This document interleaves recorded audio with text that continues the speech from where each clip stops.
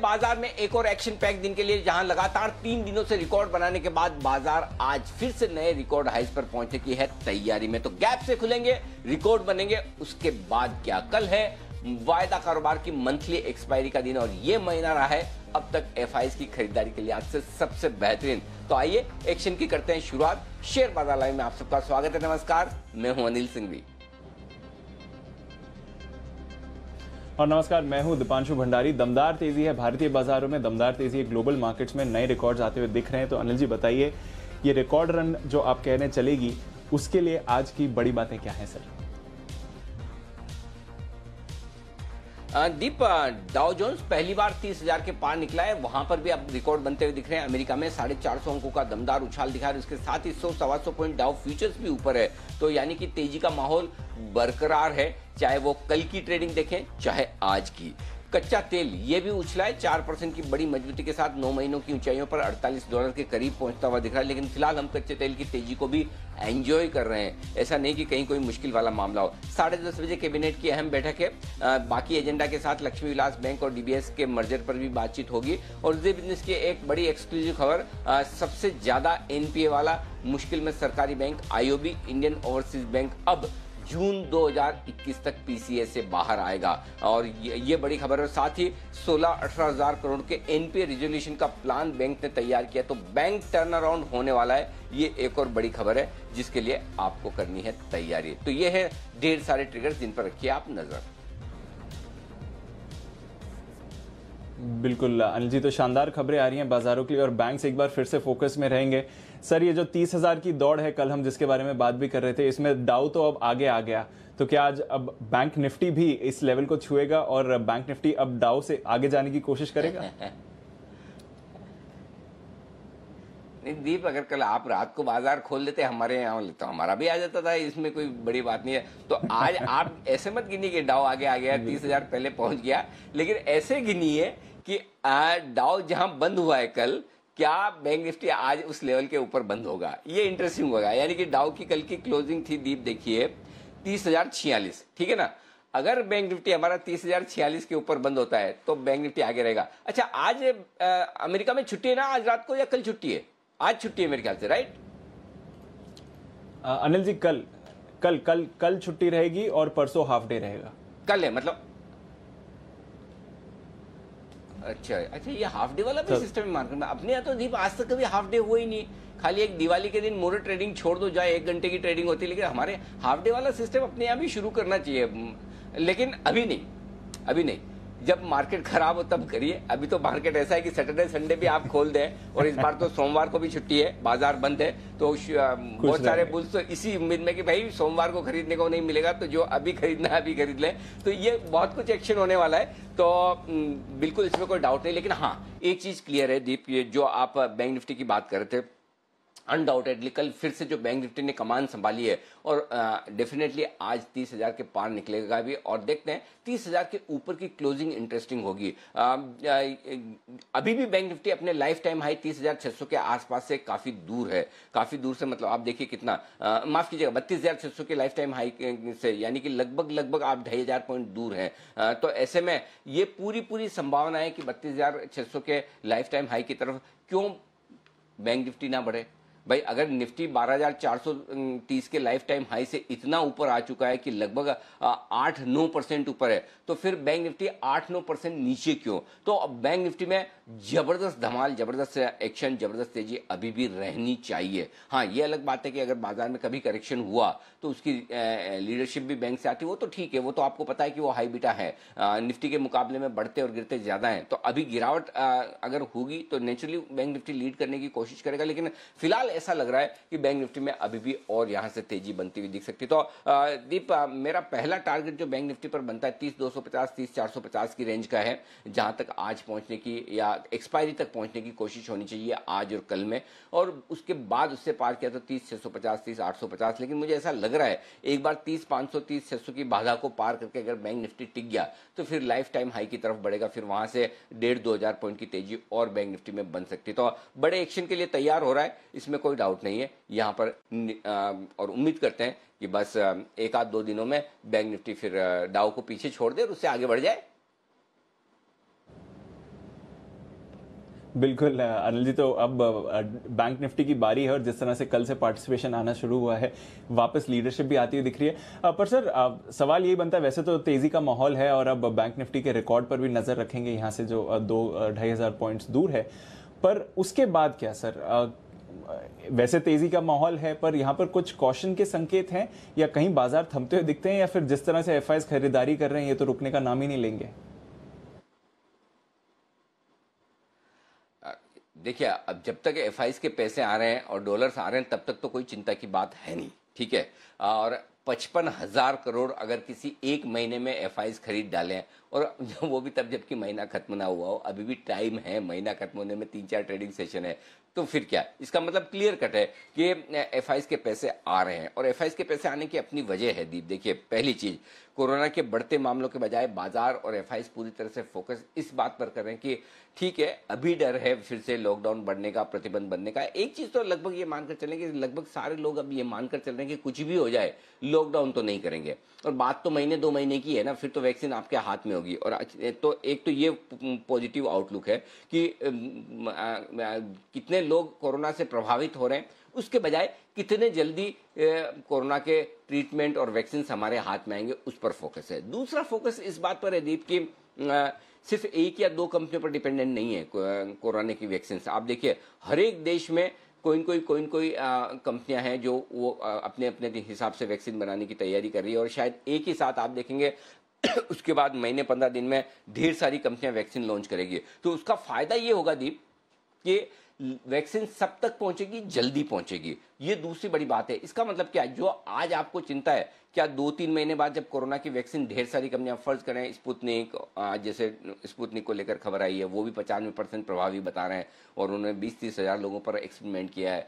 Bharat biotech हमारे यहाँ try कर रहा है, सीरम इंस्टीट्यूट ट्राई कर रहा है। तो हिंदुस्तान में ही कितनी कंपनियाँ हैं? केडिला ट्राई कर रहा है। तो हिंदुस्तान में इतनी सारी कंपनियाँ जो कर रही है, अमेरिका, यूरोप में तो आप देख ही रहे हैं, बहुत सारी कंपनियाँ फाइजर मोडना से लगाकर आगे तक रशिया में स्पुतनिक तो बड़ी बात क्या है? दो तीन महीने बाद शायद आपके पास या मार्च तक शायद जिसको जितनी वैक्सीन चाहिए उतनी मिलेगी। तो आपको दो तीन महीने ही तो निकालने और इस दो तीन महीने निकालने में आपके पास दो बड़े हथियार है बाज़ार में तेज़ी करने के। पहला बाइडन साहब आने के बाद चूँकि कोरोना के मामले बढ़ रहे हैं तो एक बढ़िया स्टिमुलस पैकेज आपके लिए लेकर आएँगे और बड़ा स्टिमुलस पैकेज लेकर आएँगे। बढ़िया और बड़ा। तो ये बाजारों में जोश भरते हुए दिख रहा है। और दूसरी बात, उन्होंने जो टीम बनाने की घोषणा की, वो बाज़ार को पसंद आ रही है। इसके अलावा, अब जब इकोनॉमिक रिकवरी अगर फिर से कोरोना के मामले आते वो ठंडी पड़ती हुई दिखती तो 2023 तक का तो लाइसेंस है ही आपके पास कि ज़ीरो परसेंट इंटरेस्ट रेट रहने वाली अमेरिका में। उसके ऊपर स्टिमुलस पैकेज आग में घी का काम करेगा। और लिक्विडिटी भरपूर है और बढ़ेगी। तो उस बढ़ती हुई लिक्विडिटी में आप देखेंगे कि रिस्की एसेट्स उनमें पैसा आता हुआ देखेगा और वो इक्विटी होगी। तो ये सारे कारण है, इसलिए अभी वैल्यूशन और बाकी चिंताएँ पीछे, ये कभी खत्म नहीं होती। चिंता किसी तरह की खत्म नहीं होती। खराब मार्केट होगा तो चिंताएँ अलग तरह की होगी अच्छा मार्केट होगा तो चिंताएँ अलग तरह की होगी। खराब मार्केट में आपके सामने सब क्वेश्चन मार्क रेटिंग डाउनग्रेड खराब रिज़ल्ट माहौल खराब, ये, वो सब आएँगे। बढ़ते हुए मार्केट में चिंताएँ आपके भारी भरकम वैल्यूशंस की होगी, पैसा रुक गया तो क्या? कोई दिन ऐसा नहीं है जिस दिन मार्केट में चिंता ना हो, और जिस दिन मार्केट में ऐसा होगा, उस दिन फिर बात ही कुछ और होगी। तो चिंताएँ तो दोनों तरफ़ होती है, लेकिन आपको उस हिसाब से अपनी पोजिशनिंग करनी है, ये ध्यान में रखें। जी दीप। बिल्कुल तो नज़र रखते हैं। वैसे मार्केट में एक्शन भरपूर है, पर जिस हिसाब से मोमेंटम है, उसी हिसाब से चलना ज़रूरी रहेगा। अच्छा सर, एक बात है, इंडेक्स पर तो हम नए रिकॉर्ड्स लगातार आते हुए दिख रहे हैं। ब्रॉडर मार्केट्स में भी एक्शन भरपूर है, और जो हमारे ब्रॉडर मार्केट्स के इंडेक्स है, वहाँ पर भी हम रिकॉर्ड्स आ रहे हैं। कल यूएस के भी जो स्मॉल कैप इंडेक्स है, वहाँ पर भी रिकॉर्ड आया। तो इंडेक्स स्टॉक्स तो ठीक है, पर ये जो मिड कैप, स्मॉल कैप में एक्शन चल रहा है, इसके बारे में थोड़ा बताइए, क्योंकि खरीदारी तो यहाँ पर भी भरपूर आती हुई दिख रही है। दीप देखिए, एक लेवल के एक लेवल पर आपको लार्ज कैप्स बहुत पसंद आते हैं और एक लेवल पर मिड कैप्स पसंद आते हैं। तो अभी आप देखिए 12 से तेरह हज़ार आने में आपको सिर्फ़ 14 दिन 14 ट्रेडिंग सेशन लगे। ये एक फिनोमिनल रन है। इसका मतलब क्लियर कट यहाँ पर जो खरीदारी हो रही है, वो दिग्गजों में हो रही है। और इंडेक्स पर बास्केट बाइंग उनकी तरफ़ से होती हुई दिख रही है। तो अब ऐसी सिचुएशन में क्या है? ऐसी सिचुएशन में ये कि इंडेक्स में अच्छी खरीदारी होने के बाद बाज़ार अगर एक लेवल पर आकर कंसोलिडेट करने की कोशिश करते हैं और रुकने की कोशिश करते हैं तो वहाँ पर होगा ये दीप कि वहाँ पर आपको जो खरीदारी शिफ्ट होती दिखेगी वो मिड कैप और स्मॉल कैप शेयरों में होती हुई दिखेगी। तो अब इस बात की पूरी संभावना बन सकती है कि मिड कैप और स्मॉल कैप शेयरों में भी आपके लिए वक्त बढ़ता हुआ नज़र आ सकता है एक्शन बढ़ता हुआ नज़र आ सकता है। तो मिड कैप स्मॉल कैप शेयरों के चलने का वक्त भी अब आता हुआ नज़दीक आ रहा है इसमें कोई डाउट नहीं है। तो ये ये एक अच्छा संकेत आपके लिए है आ, कि अब कम से कम mid cap small cap share भी आपको मजबूती की तरफ़ बढ़ते हुए दिखेंगे। तो मुझे लगता है कि धीरे धीरे लार्ज कैप शेयरों से अब action mid cap small cap शेयरों की तरफ़ भी बढ़ेगा, क्योंकि आप वैल्यूएशन गैप देखेंगे कि अगर किसी सेक्टर की number one number two company इतनी महँगी ट्रेड कर रही है तो नंबर तीन नंबर चार इन्होंने क्या गुना किया नंबर पाँच ने क्या गुना किया जो इससे आधे वैल्यूएशन पर ट्रेड कर रहे हैं? ऐसी ऐसी सिचुएशन जहाँ जहाँ बनेगी, वहाँ पर आप बाजारों को और एक्शन में आते हुए देखेंगे। तो मुझे लगता है मिड कैप स्मॉल कैप शेयरों के लिए भी अब कुछ अच्छा समय आने की तैयारी में है। जी दीप। बिल्कुल तो mid cap small cap shares के लिए भी अच्छा समय आने की तैयारी में कई सारे सेक्टर्स हैं जहाँ पर हम बढ़िया मूव्स देख रहे हैं तो बाज़ार में एक्शन भरपूर रहेगा। चलिए सर फिर एक्शन की शुरुआत करते हैं। आज तो काफ़ी सारी चीज़ों के बारे में बात करनी है। संकेत क्या बता रहे हैं आज के लिए सर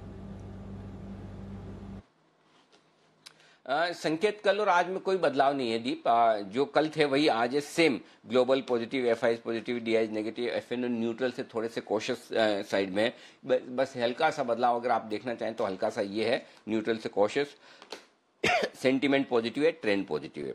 बारह हज़ार नौ सौ पच्चीस बारह हज़ार नौ सौ पचहत्तर आज के लिए डे सपोर्ट जोन है। ऊपर में तेरह हज़ार एक सौ पचास तेरह हज़ार दो सौ ये रेंज है जहाँ तक निफ्टी जाने की कोशिश करेगा आज और कल एक्सपायरी तक। उसके ऊपर निकला तो तेरह, दो सौ पचास, तेरह, तीन सौ। अब देखिए हम लाइफ टाइम हाई पर है ब्लू स्काई जोन जो नीला खुला आकाश है, वहाँ पर है। तो अब प्रॉब्लम क्या है? प्रॉब्लम ये कि आपके पास में कोई डेटा है नहीं कि कहाँ जा सकता है, कितना जा सकता है। मैं तो चार्ट देखता नहीं। चार्ट पर शायद फिर भी डेटा आ जाते हो। मैं तो प्योरली वायदा कारोबार के डेटा देखता हूँ। तो अब मेरे लिए वायदा कारोबार के डेटा में क्या हर सौ सौ पॉइंट ऊपर जहाँ जहाँ कॉल्स में ओपन इंटरेस्ट है, वो एक लेवल को पार किया, अगला सौ पॉइंट दूसरे लेवल को पार किया अगला सौ पॉइंट। ये इस तरह की रेंज मेरे लिए बनती हुई दिखेगी। तो मेरे लिए अब तेरह दो सौ पचास, तेरह तीन सौ, ये अगला लेवल होगा। उसके बाद इवेंचुअली तेरह तीन सौ पचास, तेरह चार सौ, तेरह चार सौ पचास, तेरह पाँच सौ, इस तरह से लेवल आते हुए दिखेंगे। बैंक निफ्टी उनतीस दो सौ पचास, उनतीस चार सौ पचास, ये आपके लिए सपोर्ट जोन होगा आज के लिए। तीस तीन सौ पचास इसको तीस तीन सौ तीस की बजाय तीस तीन सौ पचास कीजिएगा। तीस तीस तीन सौ कीजिएगा, माफ़ कीजिएगा, तीस तीन सौ, तीस चार सौ पचास, ये आपके लिए ऊपरी रेंज होगी, तीस तीन सौ से तीस चार सौ पचास उसके ऊपर अगर निकले तो तीस छह सौ पचास, तीस आठ सौ पचास की रेंज तक बैंक निफ्टी जाने की कोशिश कर सकता है। तो ऊपरी रेंज तीस तीस तीन सौ से तीस चार सौ पचास की लेकर चलिए आप। निफ्टी दिन की छोटी रेंज तेरह हज़ार तेरह हज़ार एक सौ पचास, मीडियम रेंज बारह नौ सौ पचहत्तर, तेरह हज़ार दो सौ, ज़्यादा संभावना है कि हम मीडियम रेंज से काम चला लें। फिर भी एक्सपायरी के ठीक एक दिन पहले थोड़ी और बड़ी रेंज हाथ में रखना ठीक रहेगा। बारह नौ सौ पच्चीस, तेरह हज़ार दो सौ पचास, ये आज के दिन की ऊपरी रेंज आपके लिए होनी चाहिए। बैंक निफ्टी उनतीस छह सौ तीस हज़ार एक सौ पचास दिन की छोटी रेंज उनतीस चार सौ पचास, तीस तीन सौ।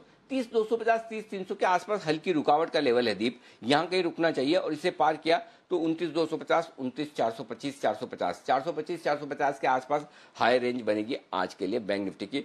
इसे पार करना थोड़ा मुश्किल होगा। तीस, पाँच सौ पर हाईएस्ट ओपन इंटरेस्ट भी है कॉल्स में तो वहाँ हम रुकेंगे। लेकिन उसे पार किया तो फिर आप और एक आध दिन टिक गए।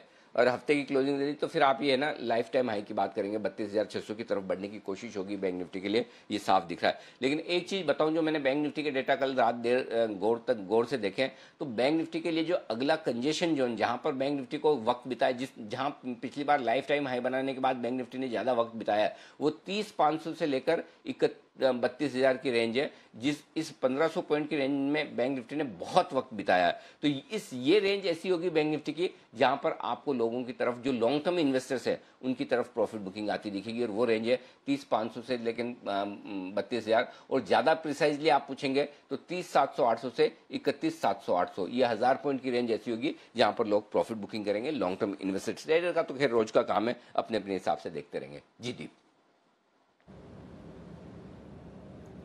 बिल्कुल तो रेंजेस अच्छी निकल कर आ रही हैं लेवल्स भी इंटरेस्टिंग हैं आज के ट्रेड के लिए।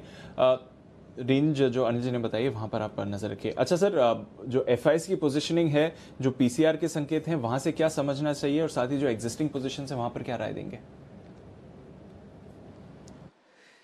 दीप एक इंटरेस्टिंग चीज़ है कि एफ़ की नेट लॉन्ग बढ़ी नहीं इंडेक्स में कल इतनी तेज़ी के बावजूद, वो एकदम मेंटेन है उनहत्तर परसेंट के आसपास। तो अब एफ़ स्टॉक स्पेसिफिक बाइंग कर रहे हैं बजाय इंडेक्स में बास्केट खरीदने के पहली चीज़। दूसरी चीज़ पुटकोल रेशियो बढ़कर एक अठहत्तर पर आया है। अगर आज ये बुधवार नहीं होता और हफ़्ते का आखिरी माफ़ कीजिए, हफ़्ते में नहीं हफ़्ते में तो एक ही बुधवार होता है, महीने का आखिरी बुधवार एक्सपायरी के लिहाज से नहीं होता। तो मैं ये ज़रूर आपको कहता कि एक अठहत्तर ओवर सोल्ड है माफ़ कीजिएगा ओवरबोट है मार्केट और इस ओवरबोट मार्केट में आपको प्रॉफिट बुक कर लेना चाहिए। आ, ये ज़रूरत से ज़्यादा हो गया। लेकिन प्रॉब्लम क्या है? प्रॉब्लम ये है कि मंथली एक्सपायरी ये वीकली भी नहीं है मंथली एक्सपायरी के दिन डेटा बहुत होते हैं और ऐसे में मंथली एक्सपायरी के दिन या उसके एक दिन पहले पुटकोन रेशियो को एब्सोल्यूट नंबर में देखना कई बार गलत होता है। इसलिए एक अठहत्तर का पुटकोन रेशियो ओवरबोट तो है इसमें कोई डाउट नहीं। अलार्मिंग नहीं है। देखिए, दोनों ओवरबोट और अलार्मिंग का फ़र्क समझिए। ठीक उसी तरह से समझिए कि किसी आईपीओ में अवॉइड की राय दी जाती है और किसी आईपीओ में लॉन्ग टर्म रिस्क लेने वाले की राय दी जाती है। वैसे ही अलार्मिंग और अलर्ट और कोशिश में फ़र्क है। अलर्ट होने में और अलार्म होने में यह है कि भाई आपको लेना ही नहीं है। और कोशिश होने में ये है कि आपको थोड़ा सा ध्यान रखना है, सावधानी रखनी है। अगर ये मंथली एक्सपायरी नहीं होती तो मैं डेफिनेटली आपको कहता कि मत लीजिए। बिल्कुल ये तो मामला गड़बड़ है बहुत ज़्यादा पुटकोल रेशियो है। लेकिन मंथली एक्सपायरी के एक दिन पहले आप इस तरह के डेटा देखेंगे और स्पेशली जब माहौल तेज़ी का बहुत ज़्यादा हो तो आप ऑप्शन में ज़्यादा एक्शन होते हुए देख रहे हैं। तो उस लिहाज से ये ओवरबोट है, हल्की सावधानी वाली बात है। इंडिया विक्स कंफर्टेबल है, एक परसेंट बढ़कर आया ठीक है। अब आइए आपको लॉन्ग पोजीशन जिनकी है वो बता दूँ। जो इंट्राडे ट्रेडर्स है वो 12,975 पर स्टॉप लॉस रखें अपना और अपनी तेज़ी की पोजीशन को कैरी करें। क्लोजिंग uh, बेसिस पर आपका स्टॉप लॉस 12,925 का होगा। बैंक निफ्टी के लिए 29,400 ये इंट्राडे का आपका स्टॉप लॉस है और क्लोजिंग बेसिस पर 29,200 का होगा। इन दो स्टॉप लॉस को फॉलो करें आप अपनी पोजीशन अगर तेज़ी की है तो। शॉर्ट पोजीशन में इंटरडे का स्टॉप लॉस होगा 13,100 का। आ, इसके पार खुलेंगे खुली रहे। अब शॉर्ट रहने में कोई समझदारी नहीं है। कल भी आपको तेरह हज़ार पच्चीस का स्टॉप लॉस दिया था कि उसके ऊपर खुले तो शॉर्ट काट लीजिए और निकल जाइए। बैंक निफ्टी तीस हज़ार का स्टॉप लॉस है। उम्मीद करता हूँ उसके आसपास या इसके ऊपर खुलेंगे और वहाँ से आपको निकल जाना चाहिए। तो फिर बैंक निफ्टी में भी तीस हज़ार पार हो जाए तो शॉर्ट काट लेनी चाहिए। जी दीप। ओके तो ये है आपके लिए कुछ अहम लेवल्स जहाँ पर आपको आज नज़र रखनी है। नई पोजीशन ये इंटरेस्टिंग रहेगा सर आज के लिए क्या सलाह देंगे?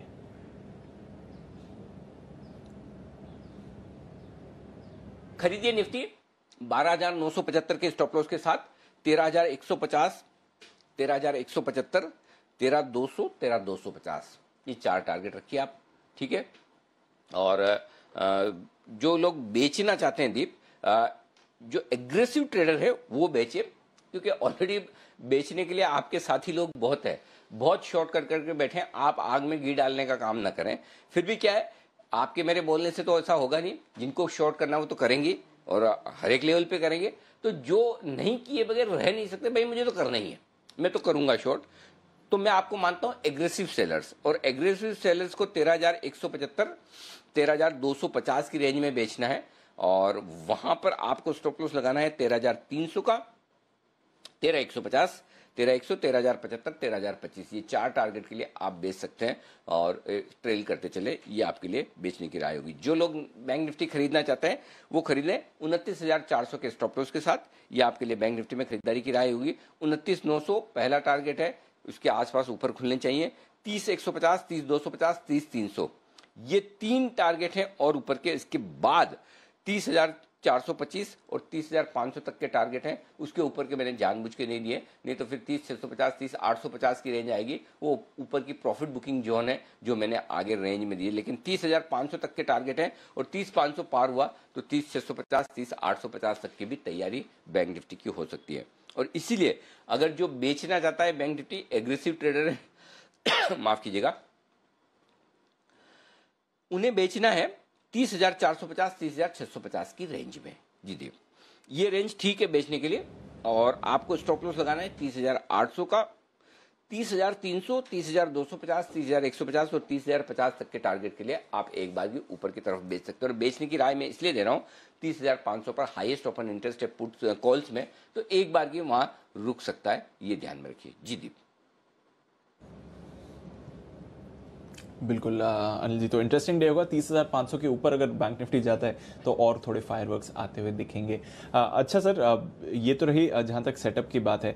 एक इंटरेस्टिंग ट्रेंड जो आपने इसी सीरीज़ से एक एक्सप्लेन करना शुरू करा है कि जैसे जैसे एफ़ नो बैन में स्टॉक्स बढ़ते जाते हैं मार्केट सेंटिमेंट कॉशियस होता है, बाहर निकलते जाते हैं तो थोड़ा सेंटिमेंट अच्छा रहता है। तो अब तो सिर्फ़ पाँच ही स्टॉक्स बैन में, हालाँकि एक्सपायरी से एक दिन पहले तो वो भी एक फैक्टर है। कितना इंटरेस्टिंग रहेगा ये फैक्टर सर? मैं आपकी बात तो मैं आऊँगा नहीं दीप। आपने बात तो सही पकड़ी है। लेकिन आज वो फॉर्मूला नहीं लगेगा। क्यों नहीं लगेगा? उसका रीजन बताता हूँ। अभी एफ़ एन ओ बैंक से अगर स्टॉक बाहर आ रहे हैं तो इस वजह से नहीं कि सेंटिमेंट कम या ज़्यादा हो गया वो इस वजह से आ रहे हैं कि रोल ओवर कर नहीं पा रहे लोग। क्योंकि देखिए पहले तो ये होता था कि आप बैन में हैं तो रोल ओवर तो कर सकते थे। अब बैन में होने के बाद आप रोल ओवर नहीं कर सकते करेक्ट आपको पोजिशन छोड़नी ही पड़ती है। फ्रेश पोजिशन आप नेक्स्ट सीरीज़ में बना नहीं सकते तो इस वजह से आप देख रहे हैं कि एफ़ आई माफ़ कीजिएगा एफएनओ में जो बैन वाली लिस्ट है, छोटी होती दिख रही है। इसमें मार्केट के सेंटीमेंट का ट्रेडिंग पैटर्न का कहीं कोई दूर दूर तक तो योगदान नहीं है सिर्फ़ और सिर्फ़ ये एक्सपायरी की वजह से। नहीं तो आमतौर पर आप देखिए पहले कभी भी एक, मतलब एक्सपायरी के हफ़्ते में स्टॉक हार्डली कभी बैन में जाते थे। जाते ही नहीं है। अब आज देखिए, आज फिर से एक ही दिन में वापस टाटा मोटर्स बैन में भी आ गया, जबकि पता है कल वापस निकलना है करेक्ट तो इसका मतलब क्लियर कट है। एक तो वो मार्केट वाइड पोजीशन लिमिट जो मार्च में कम हुई थी, वही अभी तक चल रही है, वो वापस रिस्टोर नहीं हुई। वो एक बड़ी दिक्कत है कि पोजिशन ही आप ज़्यादा नहीं बना सकते।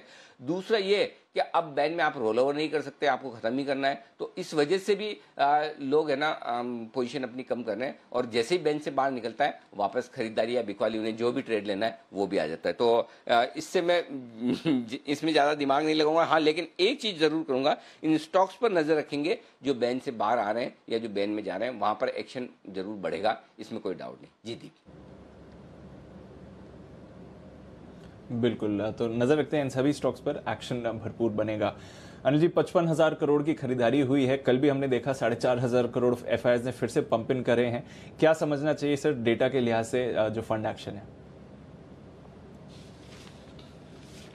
भाई साहब समझना तो उनको ही जो पैसा लगा रहे हैं और दम, दमदार लगा रहे हैं दीप। आप और हम क्या करेंगे? लेकिन बढ़िया बात है कि लगा रहे हैं और जमकर लगा रहे हैं। और वो पैसा लगा रहे हैं, हम एंजॉय कर रहे हैं। मतलब इतने कुछ कुछ चीज़ें डीप लाइफ में ऐसी होती ना मतलब जो आपको हर रोज सीखने को, मैं मैं 93 से मार्केट ट्रैक कर रहा हूँ। और कितने साल हो गए? 93 का मतलब 27 साल होने आए, लगभग लगभग। ये वाला साल 2020 जैसा साल मैंने अपनी ज़िंदगी में कभी नहीं देखा। और आई एम श्योर मार्केट में जितने लोग हैं, सब ये इस बात से सहमत होंगे। कि क्या इतना शार्प फॉल आ सकता है? फॉल इससे बड़े बड़े भी आए, जो हमने मार्च में देखे। लेकिन शार्प का मतलब इतना तेज़ी से आया, ये ये कम होता है। दूसरी बात, अब तक का सबसे शार्प, फास्ट, स्विफ्ट फॉल जिसको कहते हैं, बहुत तेज़ी से है वो तो चलो ठीक है, फिर भी कि चलो आ सकता है कि सेंटीमेंट खराब हो, ये हो, और क्योंकि पूरा विश्व जाम हो गया, आपका घरों में कैद हो गया तो ये तो पहली बार हुआ। लेकिन जिस तरह की शार्प रिकवरी हुई, आज तक जितनी बार मार्केट बेयर मार्केट में गया उसमें कभी भी इतनी शार्प रिकवरी नहीं हुई है। तो अगर उतनी शार्प रिकवरी भी हमने लाइफ में पहली बार देखी है तो ये एक नया लेसन है। एफ़ की खरीदारी पहली और आखिरी बार नहीं देख रहे हैं, लेकिन एक ही महीने में पचपन हज़ार करोड़ की एफआईएस की खरीदारी ये पहली बार देखिए अनएक्सपेक्टेड देखिए देखिए, मैं खुद पहले सोच रहा था कि शायद एमएससीआई रिबैलेंसिंग की वजह से अट्ठाईस तीस हज़ार करोड़ का फ्लो आना है, वो आ जाएगा, उसके बाद क्या? लेकिन ये तो कहीं रुकने का नाम ही नहीं ले रहा है। इसका मतलब क्लियर कट है कि ईटीएफ्स e में जो पैसा आ रहा है एक्सचेंज ट्रेडेड फंड्स में इंडेक्स फंड्स में जो पैसा आ रहा है, वो एफ़ दम लगाकर लगा रहे हैं। अब एमर्जिंग मार्केट्स में भी आ रहा है, अमेरिका में तो आ ही रहा है। तो ये ये कई सारी चीज़ें ऐसी है जो 2020 में सीखने को मिली है। तो इस लिहाज से ये एक और लर्निंग है कि एफ़ कभी भी कितना भी खरीद सकते हैं। और सबसे बड़ी बात है घरेलू फंड कितना भी बेचे, उसके बावजूद भी रुकने का नाम नहीं। तो डेटा बहुत मज़बूत है, साढ़े चार हज़ार करोड़ का। हाँ वायदा कारोबार के डेटा न्यूट्रल है खराब तो नहीं बोलूँगा। उनतीस करोड़ की बिकवाली एफआईएस की इंडेक्स में है 900 करोड़ की बिकवाली स्टॉक्स में है। ठीक है कोई दिक्कत की बात नहीं। और 2500 करोड़ के उन्होंने ऑप्शन खरीदे हैं दीप तो ये है आपके लिए एफ़ के डेटा जी दीप बिल्कुल तो ज़बरदस्त डेटा आ रहे हैं एफ़ की तरफ़ से और खरीदारी बरकरार है। आ, सर क्योंकि एक्सपायरी से एक दिन पहले तो आज वायदा कारोबार से क्या संकेत लेने चाहिए और कौन से लेवल्स पर आपकी नज़र रहेगी? तेरह हज़ार ही सबसे इंपॉर्टेंट लेवल है, दीप। और वो इसलिए कि तेरह हज़ार के पुट पर सैंतीस लाख शेयरों का ओपन इंटरेस्ट है और उसमें भी सत्ताईस लाख शेयर कल ही जुड़े हैं। तो ये सत्ताईस लाख शेयर पुट राइटर्स कल के हैं। तो तेरह हज़ार जब तक होल्ड है इंट्राडे में, तब तक तो आपको टेंशन लेनी नहीं है। अगर आप पचास पचहत्तर पॉइंट नीचे आ भी जाएँ, लेकिन तेरह हज़ार होल्ड करते रहेंगे, तब तक आप मजबूती है। बिल्कुल कॉन्फिडेंस रखिए। असली कमज़ोरी तब शुरू होगी जब आप बारह नौ सौ पचहत्तर के नीचे ट्रेड करना शुरू करें। बारह नौ सौ पैंसठ एक्चुअली वही दो नौ सौ साठ, नौ सौ पैंसठ, उसके नीचे ट्रेड करना शुरू करेंगे तो ही आप कमज़ोर फील करिए अदरवाइज़ तो फील भी मत करिए, पहली चीज़। तो और एक और चीज़ इंटरेस्टिंग बताता हूँ। दीप, आज आप तेरह हज़ार के ऊपर बंद हुए अब तो मैं आपको पूछूँगा, अंदाज़ा लगाइए तो आप बड़ा वाला लगाएँगे, इसलिए मैं पूछूँगा नहीं, मैं सीधे ही बता देता हूँ कि तेरह हज़ार के ऊपर बंद होने के बाद पचानवे लाख शेयर कॉल्स में से हैं कॉल राइटर्स जो तकलीफ़ में है। जो लॉस में चल रहे हैं इस वक्त। तेरह हज़ार एक सौ के ऊपर खुलेंगे हम। उसके बाद एक करोड़ तेईस लाख शेयर निफ्टी में ऐसे हैं कॉल राइटर्स जो शॉर्ट हो जाएँगे। तेरह दो सौ अगर पार किया तो एक करोड़ पैंसठ लाख शेयर निफ्टी के ऐसे होंगे। जो कॉल राइटर शॉर्ट होंगे। अब आप देख लीजिए, अब मुझे बताओ कि क्या निफ्टी नीचे आएगा। इसीलिए मैं बार बार कह रहा हूँ भले ही बैंक निफ्टी परसेंटेज के लिहाज से ज़्यादा भागा है अंडर परफॉर्मेंस थी कम किया है, लेकिन जो शॉर्ट्स निफ्टी में है देखिए बैंक निफ्टी में अपसाइड ज़्यादा बन सकती है, लेकिन निफ्टी में डाउन साइड रिस्क बहुत कम है। तो अब आपको कैसे ट्रेड करना है? जो एग्रेसिव ट्रेडर है, वो बैंक निफ्टी की तरफ़ चले जाएगा। जो पैसिव ट्रेडर है, जो सोचता है कि मुझे रिस्क कम चाहिए, थोड़ा रिटर्न कम भी मिलेगा तो कोई दिक्कत नहीं, नीचे नहीं जाना चाहिए, वो उसके लिए निफ्टी है। तो निफ्टी में इतने शॉर्ट्स हैं कि पूछे मत। तो इसलिए अब वो नीचे जाएगा नहीं इस हिसाब से। आज और कल बहुत मुश्किल है कि बड़ा करेक्शन मिला। हाँ कल के बाद क्या हो सकता है वो देखेंगे कि एक बार एक्सपायरी निकल गई और इस एक्सपायरी के बाद आगे देखेंगे क्या कुछ होता है। लेकिन आज और कल तो ऐसा लग रहा है, बिल्कुल क्लियर कट बाज़ार मज़बूत रहने चाहिए और बायोन डिप्स होना चाहिए। अब कोई अनएक्सपेक्टेड खराब खबर आ जाए या अचानक से कोई ग्लोबल मार्केट में कुछ हो जाए, वो तो मुझे और आपको पता नहीं। डेटा तो साफ़ बता रहे हैं कि डेटा बहुत मज़बूत है शॉर्ट्स बहुत हैं। तो उस हिसाब से हर एक लोअर लेवल पर शॉर्ट्स का सारा आपको मिलेगा। ये तो बात होगी निफ्टी की। बैंक निफ्टी तीस हज़ार हाइएस्ट ओपन इंटरेस्ट है बैंक निफ्टी के कॉल्स में दस लाख शेयरों का। आप तीस हज़ार के पार खुलेंगे और अगर खुलकर टिक गए, समझिए उनतीस नौ सौ तीस हज़ार के आसपास खुलने चाहिए, उसके ऊपर खुल गए। अड़तीस लाख शेयर बैंक निफ्टी के ऐसे हैं जो तीस हज़ार पार होते ही शॉर्ट्स हो जाएँगे। ये कॉल राइटर्स है बैंक निफ्टी के, अड़तीस लाख शेयर तीस हज़ार तक। तो तीस हज़ार के ऊपर फिर ये कॉल राइटर्स आपको सपोर्ट देने का काम करेंगे और इन्हें पता है कि आज और कल में ही इनका काम खत्म होना है एक्सपायरी कल है। तो निफ्टी के बाद कल पहली बार बैंक निफ्टी में भी थोड़े शॉर्ट्स बनने के संकेत आए और उनतीस पाँच के ऊपर जो बैंक निफ्टी बंद हुआ है, उन्नीस लाख शेयर ऑलरेडी शॉर्ट चल रहे हैं अभी और तीस हज़ार पार करते ही अड़तीस लाख शेयर शॉर्ट हो जाएँगे तो शॉर्ट कवरिंग का सहारा आपको बाद में भी मिलेगा। जी दीप। बिल्कुल अनिल जी तो नज़र रखते हैं और ये क्या शॉर्ट कवरिंग एक और बढ़िया रैली आज के लिए ट्रिगर कर सकती है या नहीं? चलिए, आज आपके लिए एक और स्पेशल गिफ्ट है अनिल जी की तरफ़ से, बिगुल बजाते हैं स्टॉक ऑफ़ द डे का।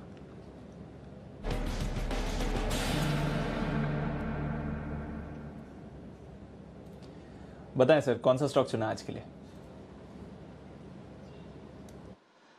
दीप डॉक्टर रेडिस के फ्यूचर्स में खरीदारी करने की राय, कल भी आपने देखा कि स्टॉक काफ़ी मजबूती के साथ बंद हुआ है और देर शाम जो खबर आई है रशिया की तरफ़ से वो बड़ी इंटरेस्टिंग है।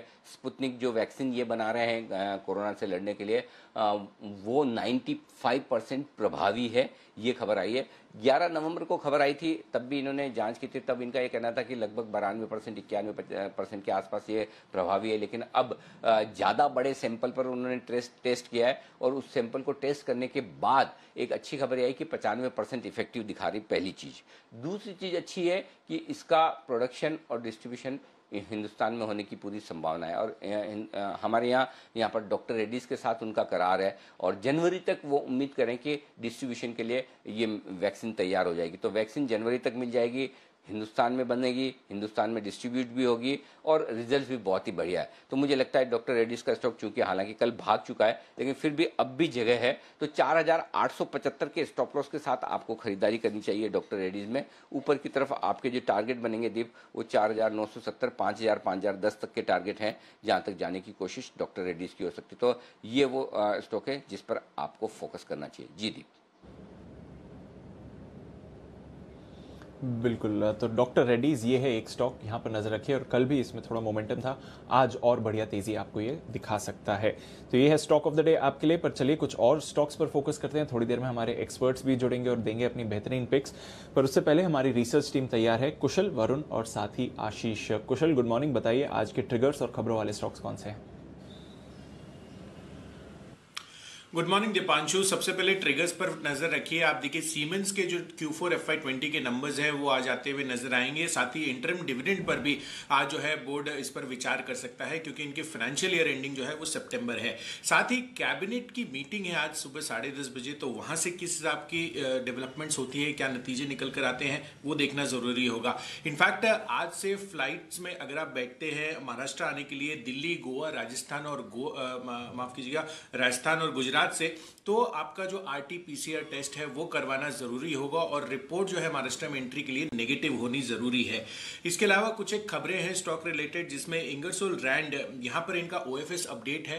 देखिए कल नॉन रिटेल निवेशकों के, के लिए ये खुला था। ओ एफ़ एस जहाँ पर 2.7x टाइम्स जो है ये सब्सक्राइब होता हुआ दिखा है। रिटेल निवेशकों के लिए आज ओएफएस खुलेगा जिसमें रिटेल निवेशकों को 12 परसेंट अतिरिक्त डिस्काउंट दिया जाएगा। पेरेंट कंपनी दरअसल साढ़े चार परसेंट ओ एफ़ एस के ज़रिए अपनी हिस्सेदारी बेच रही है और पाँच सौ अठहत्तर रुपए साठ पैसे प्रति शेयर का भाव है। इसके अलावा आईओबी यहाँ पर जी बिज़नेस एक्सक्लूसिव खबर हमने आपको दी कि जून 2021 तक हो सकता है आईओबी जो है वो पीसीए से बाहर हो जाएगा। मार्च 2021 तक दरअसल 18,000 करोड़ रुपए की रिकवरी पॉसिबल है। इनफैक्ट यहाँ पर ये बताया जा रहा है कि अगले तीन से छह महीनों में काफ़ी सारे एनसीएलटी में जो केसेस है उनका रेजोल्यूशन हो जाएगा।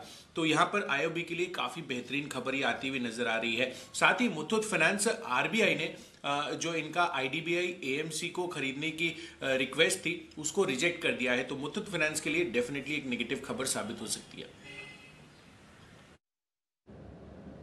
बिल्कुल तो ये है कुछ खबरों वाले स्टॉक्स आइए कुछ और स्टॉक्स जानते हैं वरुण के साथ। गुड मॉर्निंग वरुण, बताइए।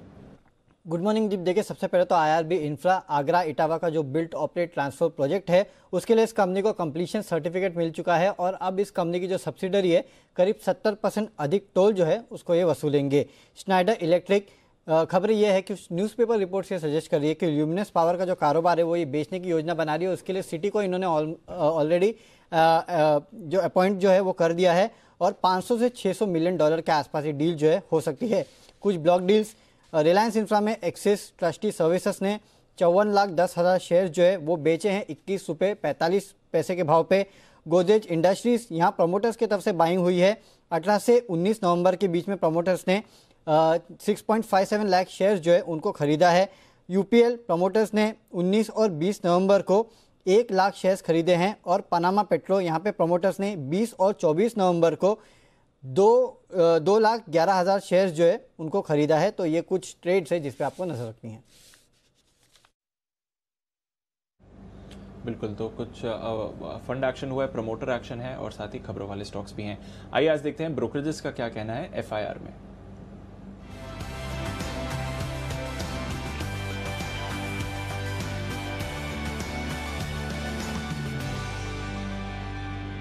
गुड मॉर्निंग आशीष आज की रिपोर्ट्स के बारे में बताएँ। Good morning Deepanshu Tata Motors CLSC की रिपोर्ट है, खरीदारी किराए को बरकरार रखा है। दो रुपए के लक्ष्य के लिए एक जो है कल की क्लोजिंग है। मान रहे कि चाइना में अगर आप देखें तो जेएलआर के वॉल्यूम्स में बढ़िया रिकवरी देखने को मिली और खर्चों में जो कंपनी कटौती कर रही है, इसका भी एक फ़ायदा देखने को मिलेगा। लेकिन यूके और ईयू में अगर आप देखें तो कारोबार थोड़ा सा कमज़ोर नज़र आ रहा है। नालको यहाँ पर जेपी मॉगन की एक नेगेटिव रिपोर्ट आई है। अंडरवेट की रेटिंग को बरकरार रखा गया इकतीस रुपए के लक्ष्य के लिए। छत्तीस कल की क्लोजिंग है। कह रहे हैं कि एल्यूमिना सेक्टर में थोड़ा सा कमज़ोर माहौल देखा जा रहा है और कैपिटल एलोकेशन भी इनका कंपनी ब्रोकरेज हाउस को पसंद नहीं आ रहा है। एपीआई कंपनीज़ पर भी फोकस रखना होगा। मेक्वारी की पॉजिटिव रिपोर्ट है जहाँ पर एक कहा जा रहा है कि अधिक वॉल्यूम्स के चलते आगे भी ग्रोथ बरकरार देखने को मिलेगी। और फ़िलहाल अगर आप देखें तो एपीआई सेक्टर के लिए जो पूरा माहौल है बहुत सपोर्टिव है। डिविज लैब मेक्वारी की रिपोर्ट है आउट परफॉर्म की रेटिंग को बरकरार रखा है। तीन रुपए के लक्ष्य के लिए 3,540 जो है कल की क्लोजिंग है। सोलारा एक्टिव पर भी देखिए आउट परफॉर्म की रेटिंग को बरकरार रखा है। अठारह सौ आठ रुपए के लक्ष्य के लिए ग्यारह जो है कल की क्लोजिंग है। एसबीआई लाइफ जेफरीज की रिपोर्ट है, खरीदारी किराए को बरकरार रखा है। एक हज़ार चालीस रुपए के लक्ष्य के लिए 840 जो है कल की क्लोजिंग है।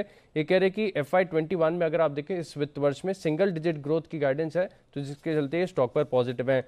अदानी पोर्ट्स जेफरीज की पॉजिटिव रिपोर्ट है, खरीदारी किराए को बरकरार रखा है। चार सौ पचहत्तर के लक्ष्य के लिए तीन सौ बानवे जो है कल की क्लोजिंग है। ये कह रहे हैं कि सितंबर 2021 में अगर आप देखें तो जो प्लेज शेयर है पूरी तरीके से खत्म हो जाएँगे तो बड़ा ओवरहैंग जो है वो समाप्त हो जाएगा स्टॉक पर ही बुलिश है। आखिरी रिपोर्ट है फ़िलहाल के लिए एच लाइफ जेफरीज की रिपोर्ट है खरीदारी किराए को बरकरार रखा है और लक्ष्य देखिए सात सौ साठ रुपए से बढ़ाकर आठ सौ कर दिया है छह सौ पैंसठ जो है कल की क्लोजिंग है। ये कह रहे कि नॉन यूलिप कारोबार में बढ़िया ग्रोथ देखने को मिल रही है और वीएनबी मार्जिन जो है लगभग बीस पर रहेंगे जिसके चलते स्टॉक पर बुलिश है। ओके okay, तो ये है तमाम रिपोर्ट्स जिन पर रहेगा आपके लिए आज एक्शन आइए करते हैं एक्शन की शुरुआत। हमारे सारे एक्सपर्ट्स हैं हमारे साथ। Bigul pick of the day का।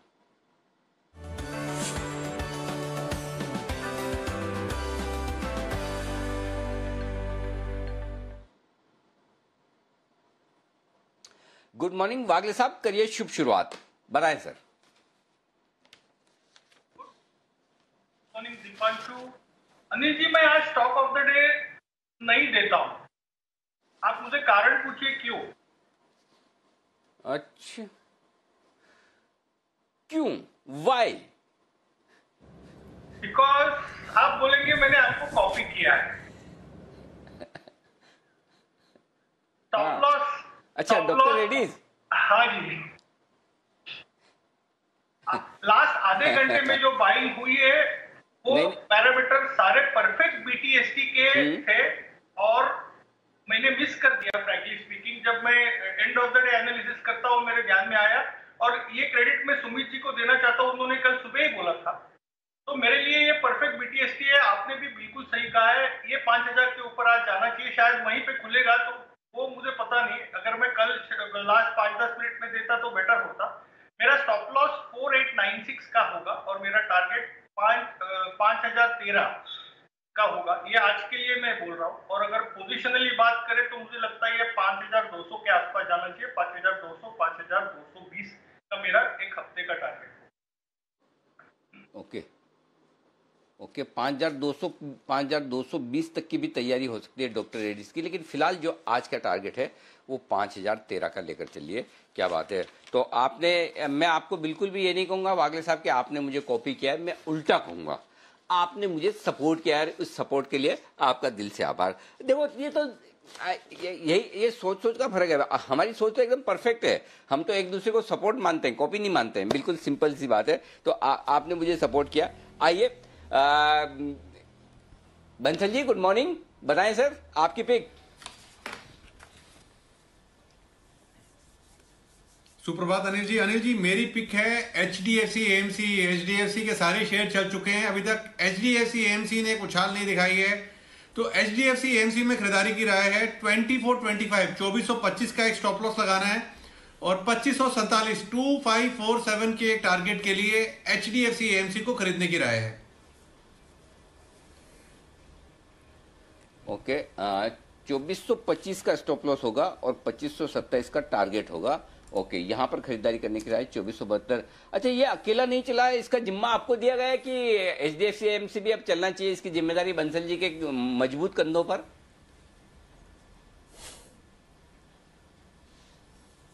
अनिल जी जैसा मर्ज़ी समझ लिया अनिल जी आज का तो बाज़ार ऐसा हो गया है कि मार्केट ये देख रहा है कि जिसकी लाइन टूट रही है वो भाग रहा है जो नहीं चला है वो भाग रहा है। तो H D F C MC भी एक स्ट्रॉन्ग हम्म। कंटेंडर है और अनिल जी सिर्फ़ H D F C MC नहीं अगर आप देखें तो एसिड मैनेजमेंट का कोई भी शेयर नहीं चला है। Nippon India asset India asset management भी नहीं चला है और H D F C MC भी नहीं चला है। तो अब इन दोनों में, दोनों स्टॉक बढ़िया है टेक्निकली भी फंडामेंटली भी। बट फंडामेंटली थोड़ा सा बेहतर H D F C group ज़्यादा अच्छा लगता है। तो इसलिए H D F C MC को चुना है और टेक्निकल पैटर्न भी अच्छा है इसका। नहीं बिल्कुल जो ये नहीं चले उनका एक कारण भी है वो ये कि पिछले दो तीन महीनों से थोड़े से म्यूचुअल फंड में फ्लोज जो पैसा जो आ रहा था उस पर लगाम लगी है थोड़ा सा कम हुआ है। इस वजह से ये स्टॉक ठंडे हुए हैं। हालाँकि मार्केट अच्छा है लेकिन इनका इन, इनका जो पैसा बनेगा वो मार्केट के बजाय नए कितना पैसा फंड में आता है उससे बनेगा और वो इन्फ्लोज थोड़े से कम हुए हैं डोमेस्टिक इन्वेस्टर्स के उसकी वजह से ये। बंसल जी आ, आपने तो दे दिया अपना H D F C M C Kunal ji आपको आज विशेष सुविधाएँ नोटा की। अगर आपने कल बहुत ज़रूरत से ज़्यादा सेलिब्रेशन कर लिए हो और काम नहीं किया तो आज आपसे कोई सवाल नहीं पूछा जाएगा। आप नोटा का इस्तेमाल कर सकते हैं। और अगर आपने पहले बफर में दो चार दिन पहले से काम करके रखा होगा आपको पता ही था बर्थडे तो आ ही रही है उस दिन बिज़ी भी रहूँगा तो बता दीजिए पिक ऑफ़ द डे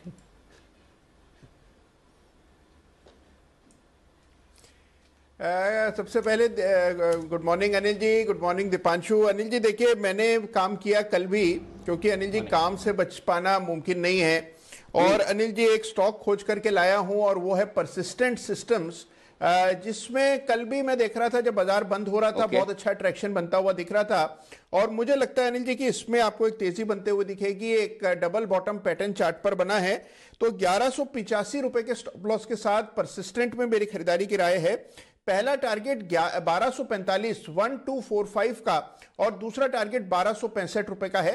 तो वन टू सिक्स फाइव के टारगेट के लिए परसिस्टेंट में मेरी खरीदारी की राय। ओके बारह सौ पैंतालीस बारह सौ पैंसठ ये रखें आप टारगेट और 1213 के आसपास कल हुआ है बंद। आइए हिमांशु जी से भी लेते हैं उनकी पिक हिमांशु जी नमस्कार बताएँ सर। नमस्कार अनिल जी। सर, मेरी भी pick of the day HDFC group से ही है लेकिन जो स्टॉक मुझे पसंद है वो है H D F C Life यहाँ पर 645 650 का एक ब्रेकआउट देने के बाद स्टॉक ने थोड़ा सा एक शॉर्ट टर्म कंसोलिडेशन दिखाया है और मेरा ऐसा मानना है कि आज के सेशन में यहाँ पर एक ब्रेकआउट आता हुआ देखने को मिल सकता है. छह सौ चौसठ रुपए की कल की क्लोजिंग है तो यहाँ पर ओपनिंग पर खरीदारी करके चला जा सकता है. 690 से 700 रुपए तक के टारगेट्स मुझे लगता है आज या मैक्सिमम कल तक के सेशन में देखने को मिल सकते हैं. 650 रुपए के नीचे का एक स्टॉप लॉस रिकमेंडेड है. और positional terms point of view से अनिल जी यहाँ पर 750 तक के टारगेट्स मेरा ऐसा मानना है कि एच लाइफ में देखने को बहुत नियर टर्म में देखने को मिलेंगे। ओके तो यहाँ पर आपको एचडीएफसी लाइफ में करनी है खरीदारी। आइए शुभम जी हमारे साथ जुड़ चुके हैं।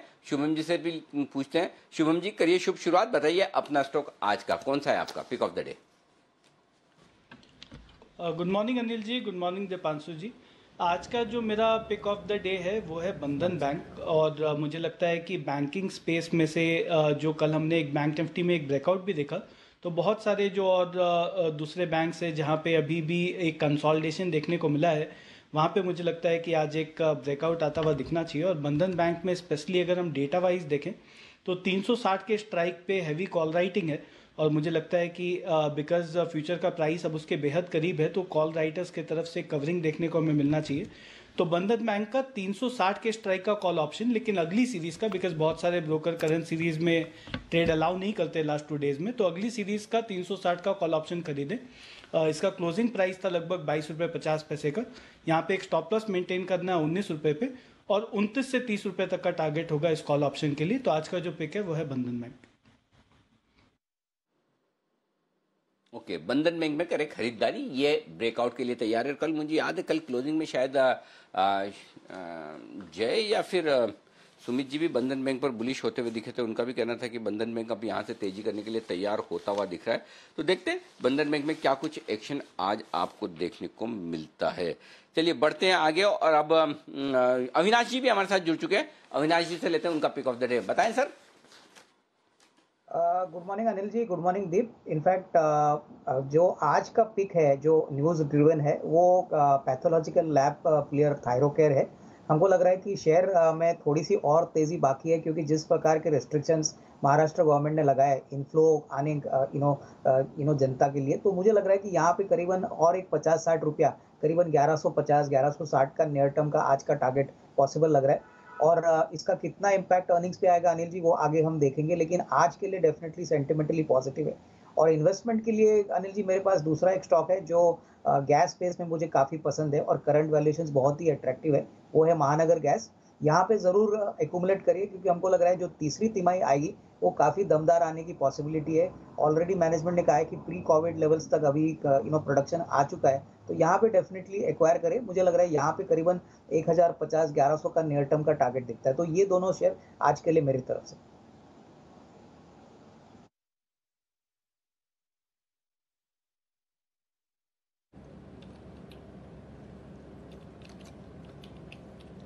ओके okay, तो ये है आपके लिए एमजीएल पर खरीदारी की राय और साथ ही थायरो केयर जो आज के ट्रेड में अच्छा परफॉर्म कर सकता है। सुमित जी भी हमारे साथ हैं। सुमित जी गुड मॉर्निंग बताएँ आपकी पिक ऑफ़ द डे क्या रहेगी sir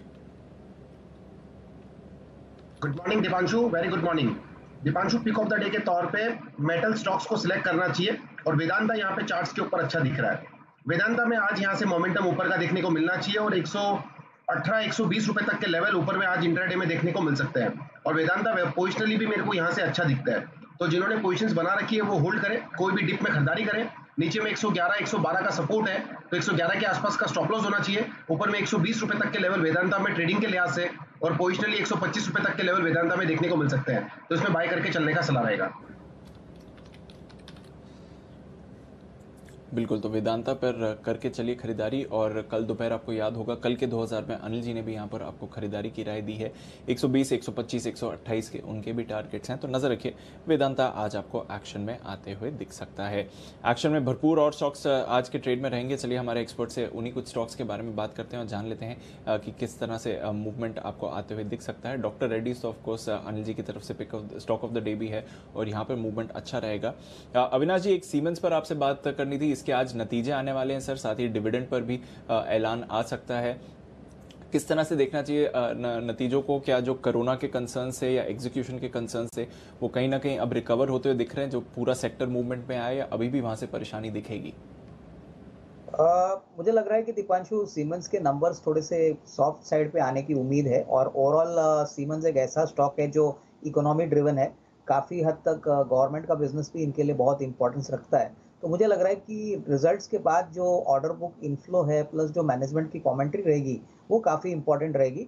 हालाँकि हमको लग रहा है कि definitely second quarter first quarter के हिसाब से अच्छा रहेगा, लेकिन ओवरऑल जो ऑर्डर बुक मोमेंटम है, वो हमको लग रहा है कि शायद जनवरी से ज़्यादा यू नो तेज़ी पकड़ेगा। जो गवर्नमेंट के ऑलरेडी कॉन्ट्रैक्ट्स है, वहाँ पे कैसे एग्जीक्यूशन हो गया, वो काफ़ी इंपॉर्टेंट है। तो मैं समझता हूँ कि रिज़ल्ट से ज़्यादा कमेंट्री और जो आउटलुक मैनेजमेंट देगा वो इंपॉर्टेंट रहेगा बट ओवरऑल जिनके पास है वो होल्ड करे। लग तो रहा है कि Q2 के नंबर्स अच्छे आएँगे लेकिन Q3 और Q4 इनके लिए बहुत इंपॉर्टेंट पीरियड होता है और ये मैनेजमेंट की आउटलुक और कमेंट्री पे डिपेंडेंट होगा। तो ओवरऑल पॉजिटिव रवैया है लेकिन मेरे ख्याल से जिनके पास है वो होल्ड करे।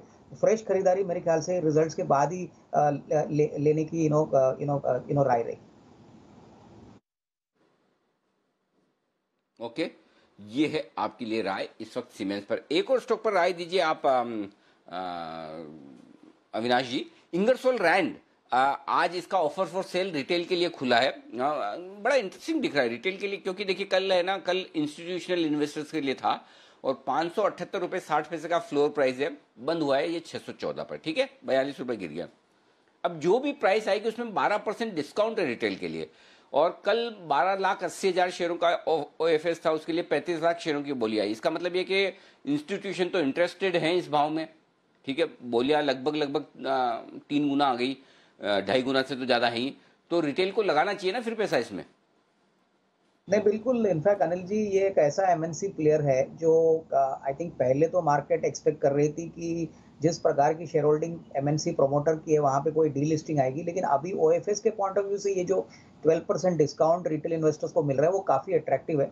शेयर काफ़ी इलिक्विड है, लेकिन अगर इस कंपनी की बिज़नेस देखे तो काफ़ी यू नो अर्थे तक हम समझते हैं कि एक्सपोर्ट मार्केट इनके लिए काफ़ी बड़ा है। प्लस इनकी जो फिनेंशियल्स है, वो ज़्यादातर लास्ट एक डेढ़ साल से काफ़ी थोड़े से सॉफ्ट है, क्योंकि इनका जो बिज़नेस है, वो ज़्यादातर ड्रॉट और you know capital goods related वाला सेक्टर है।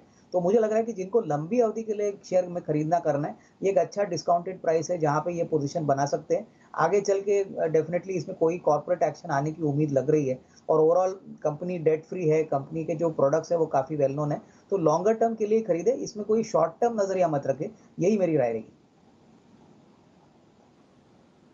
ओके मुथूट फाइनेंस जरा वागले साहब इसके चार्ट्स देखिए और इस पर राय दीजिए।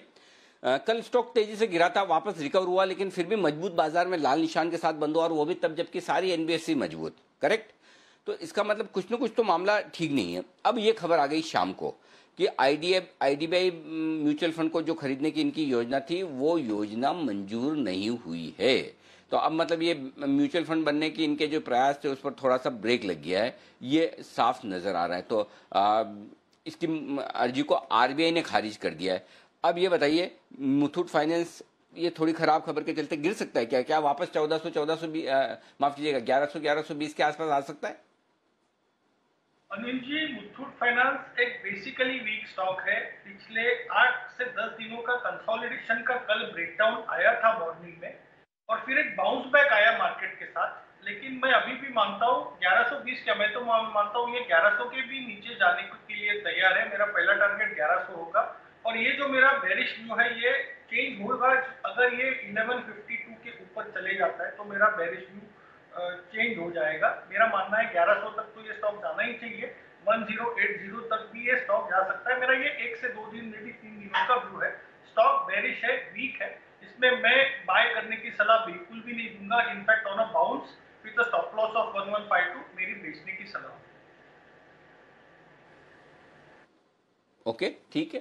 खरीदारी ना करें 1100 तक की जगह तो दिख ही रही है, लेकिन सुमित जी, जरा एक कैश का स्टॉक देखिए, पनामा पेट्रो। 20 से 24 नवंबर के बीच में यहाँ पर इनके प्रोमोटर्स ने दो लाख ग्यारह हज़ार शेयर खरीदे हैं। तो क्या चार्ट पर है संकेत खरीदारी करने के लिए? ऐसा आप खबर भूल जाइए, आप तो खाली चार्ट देखिए।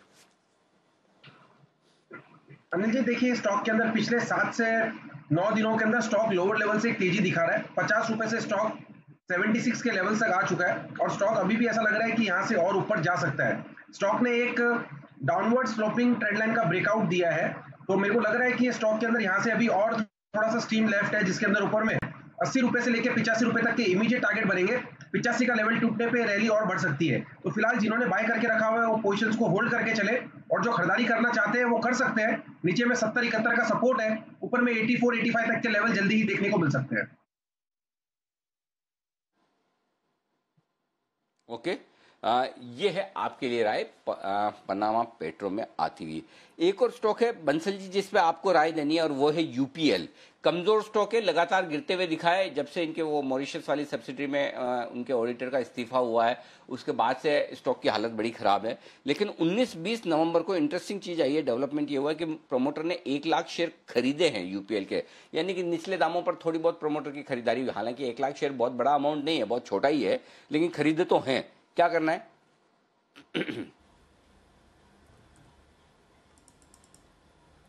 देखिए अनिल जी, यहाँ पर सबसे अच्छी चीज़ है जो एक आपने फैसिलिटी दे रखी है, नोटा की।